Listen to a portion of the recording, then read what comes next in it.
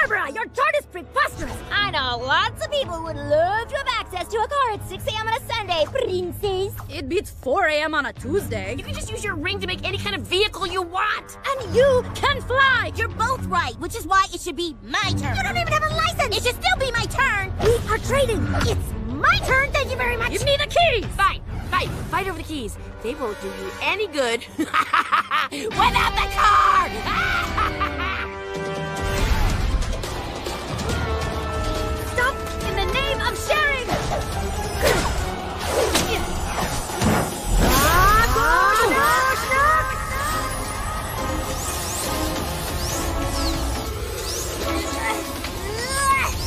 Danger detected.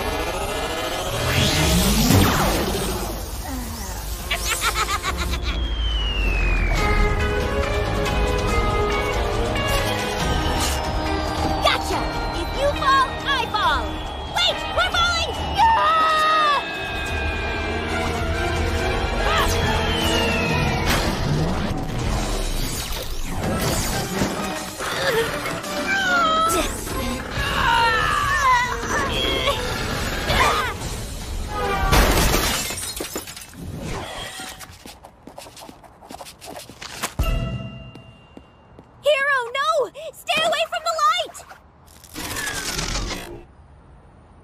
Car is destroyed, I'm more saddened by how it made us treat one another. I am sorry.